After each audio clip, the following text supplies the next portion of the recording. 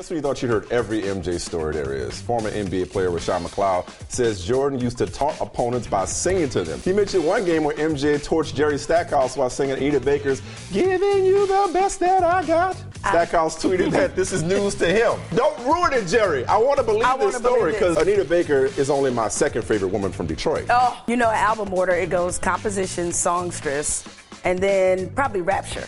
Okay. All right. I'm good with that. Uh, I wondered if Mike also say, I bet everything on my All my championship ring." right. So you'd have been slick if you'd have been able to do that. Absolutely. Uh, Mike singing Anita Baker? It- It's hard to believe, but I want to believe That's it. some expert trash talk. Like you expect people to maybe, you know, come you some person.